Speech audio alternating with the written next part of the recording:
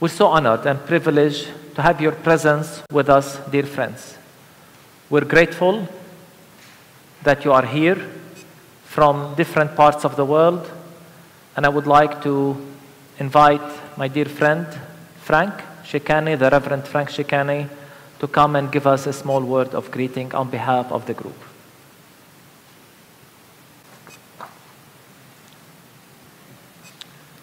Good evening and greetings in the name of our Lord and Savior Jesus Christ.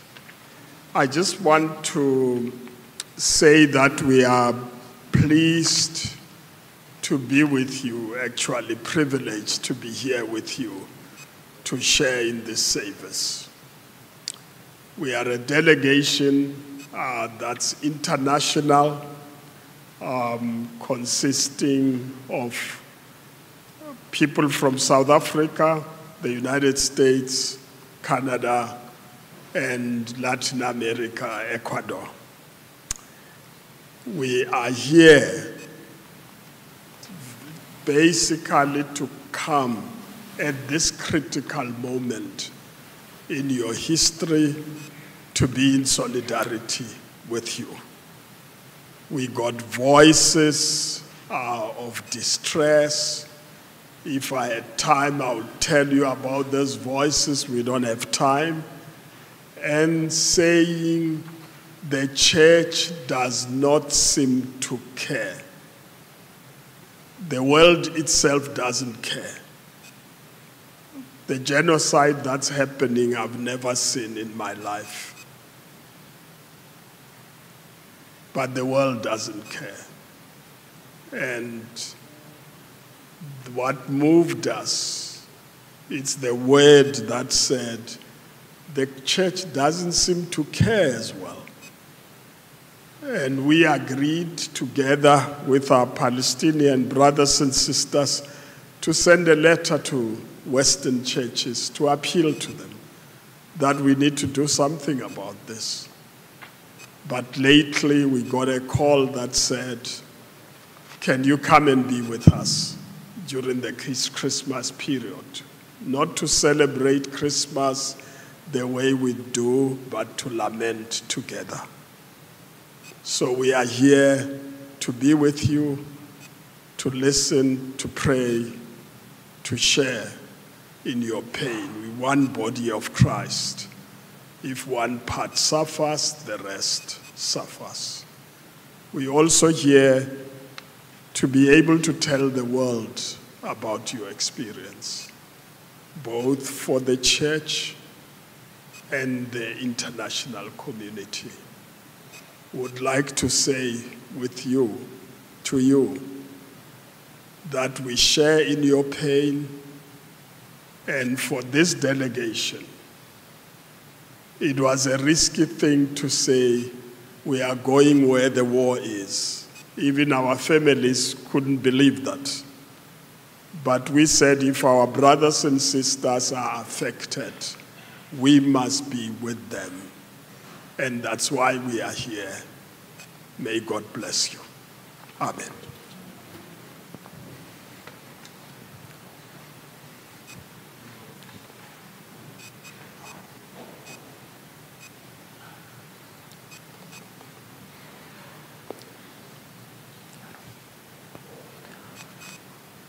Christ under the rubble. We are angry. We are broken. This should have been a time of joy. Instead, we are mourning. We are fearful. More than 20,000 killed. Thousands are still under the rubble close to 9,000 children killed in the most brutal ways. Day after day, 1.9 million displaced, hundreds of thousands of homes destroyed. Gaza, as we know it, no longer exists. This is an annihilation. This is a genocide. The world is watching. Churches are watching. The people of Gaza are sending live images of their own execution. Maybe the world cares, but it goes on. We are asking here could this be our fate in Bethlehem, in Ramallah, in Jenin? Is this our destiny too? We are tormented by the silence of the world. Leaders of the so called free lined up one after the other to give the green light for this genocide against a captive population. They gave the cover. Not only did they make sure to pay the bill in advance, they veiled the truth and context, providing the political cover. And yet another layer has been added the theological cover, with the Western church stepping into the spotlight. Our dear friends in South Africa taught us the concept of the state theology, defined as theology, the theological justification of the status quo with its racism, capitalism, and totalitarianism. It does so by misusing theological concepts and biblical texts for its own political purposes. Here in Palestine, the Bible is weaponized against us. Our very own sacred text. In our terminology in Palestine, we speak of the empire. Here we confront the theology of empire a disguise for superiority, supremacy, chosenness, and entitlement. It is sometimes given a nice cover using words like mission and evangelism, fulfillment of prophecy, and spreading freedom and liberty. The theology of the empire becomes a powerful tool to mask oppression under the cloak of divine sanction. It speaks of land without people. It divides people into us and them. It dehumanizes and demonizes the concept of land without people again. Even though they knew too well that the land had people, and not just any people, a very special people. Theology of the empire calls for emptying Gaza, just like it called for the ethnic cleansing in 1948 a miracle or a divine miracle, as they called it. It calls for us Palestinians now to go to Egypt, maybe Jordan. Why not just the sea? I think of the words of the disciples to Jesus when he was about to enter Samaria. Lord, do you want us to command fire to come down from heaven and consume them? They said of the Samaritans. This is the theology of the empire. This is what they're saying about us today. This war, this war has confirmed to us that the world does not see us as equal. Maybe it's the color of our skins. Maybe it is because we are on the wrong side of a political equation. Even our kingship in Christ did not shield us. So they say if it takes killing 100 Palestinians to get a single Hamas militant, then so be it. We are not humans in their eyes. But in God's eyes, no one can tell us that. The hypocrisy and racism of the Western world is transparent and appalling. They always take the word of Palestinians with suspicion and qualification no, we're not treated equally. Yet on the other side, despite a clear track record of misinformation, lies, their words are almost always deemed infallible. To our European friends, I never ever want to hear you lecture us on human rights or international law again. And I mean this. We are not white, I guess, it does not apply to us according to your own logic.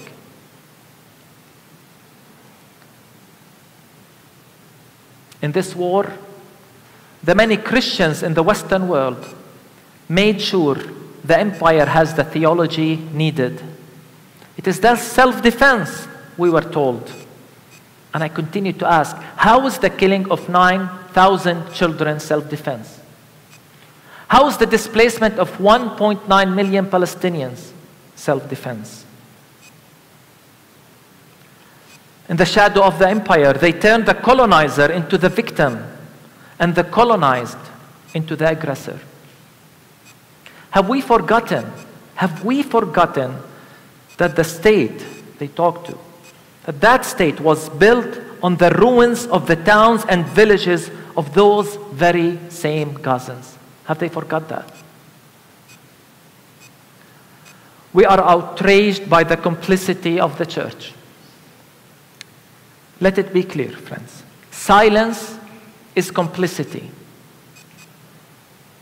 And empty calls for peace without a ceasefire and end to occupation, and the shallow words of empathy without direct action, all under the banner of complicity. So here is my message Gaza today has become the moral compass of the world. Gaza was hell before October 7th, and the world was silent. Should we be surprised that there's silence now? If you are not appalled by what is happening in Gaza, if you are not shaken to your core, there is something wrong with your humanity. And if we as Christians are not outraged by the genocide, by the weaponization of the Bible to justify it, there is something wrong with our Christian witness and we are compromising the credibility of our gospel message. If you fail to call this a genocide, it is on you. It is a sin and a darkness you willingly embrace. Some have not even called for a ceasefire. I'm talking about churches. I feel sorry for you. We will be okay.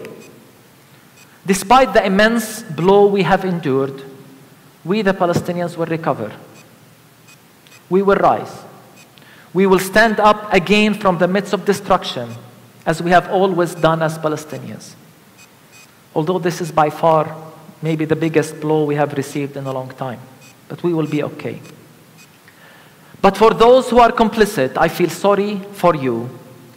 Will you ever recover from this? Your charity and your words of shock after the genocide won't make a difference. And I know these words of shocks are coming. And I know people will give generously for charity. But your words won't make a difference. Words of regret won't suffice for you. And let me say it we will not accept your apology after the genocide. What has been done has been done. I want you to look at the mirror and ask, where was I when Gaza was going through a genocide? To our friends who are here with us, you have left your families and churches to be with us. You embody the term accompaniment, costly solidarity. Think of the words of Jesus We were in prison and you visited us. What a stark difference from the silence and complicity of others that you are here. Your presence here is the meaning of solidarity. And your visit have already left an impression that will never be taken from us. Through you, God has spoken to us that we are not forsaken. As Father Rami of the Catholic Church said this morning, you have come to Bethlehem and like the Magi, you brought gifts with you, but gifts that are more precious than gold, frankincense, and myrrh. You brought the gift of love and solidarity. We feel it. We needed this. For this season, maybe more than anything, we were troubled by the silence of God. In these last two months, the Psalms of Lament have become a precious companion to us. We cried out, My God, my God, why have you forsaken Gaza?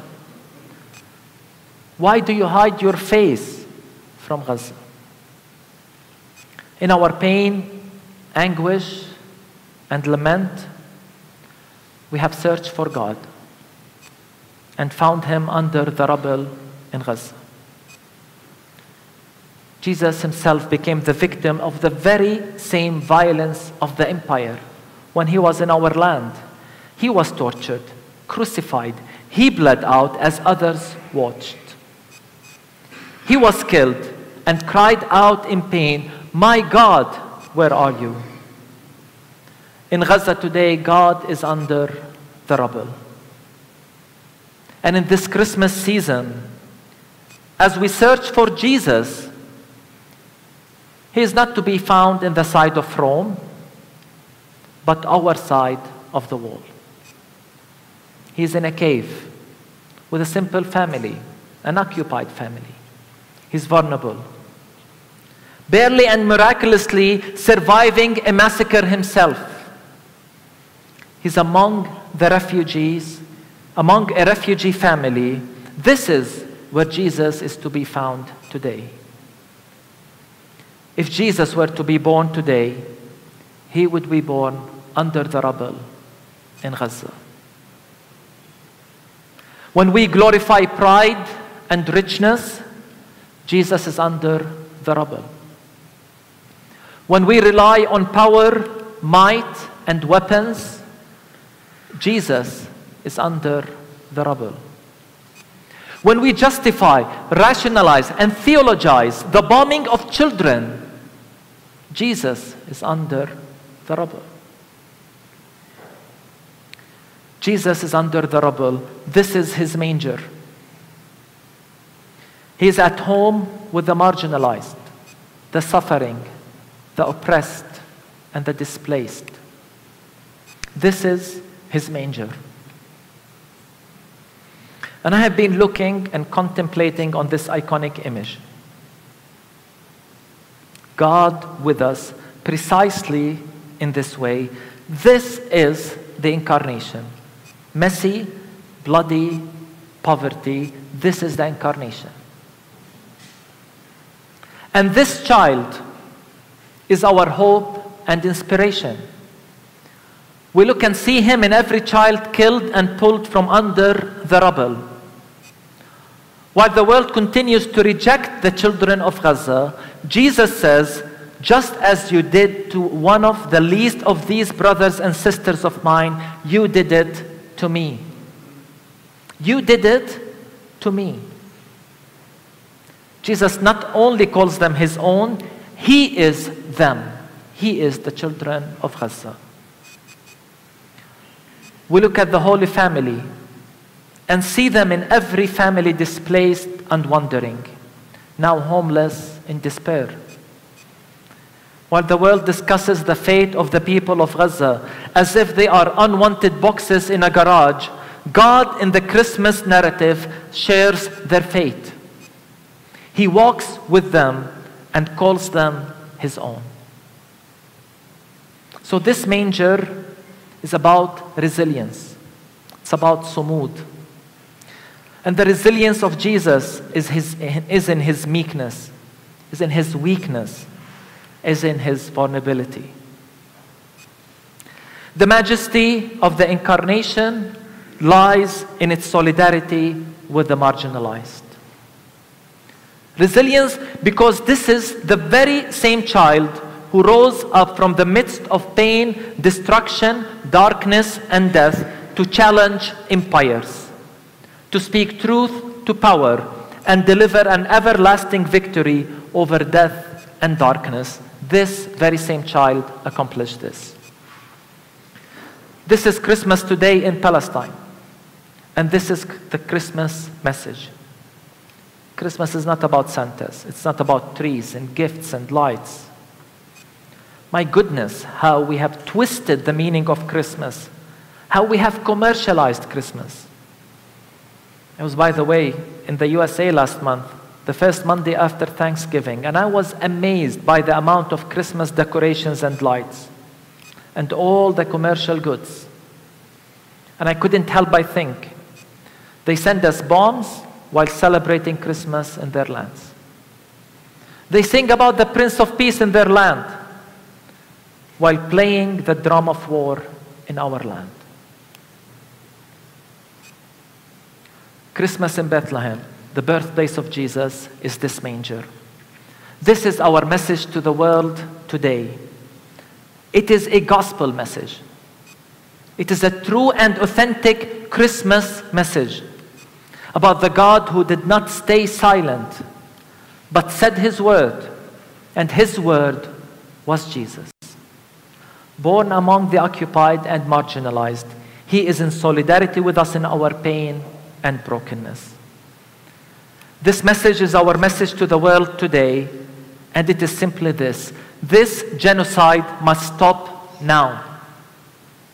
Why don't we repeat it? Stop this genocide now. Can you say it with me? Stop this genocide. Let's say it one more time. Stop this genocide. This is our call. This is our plea. This is our prayer. Hear, O God. Amen.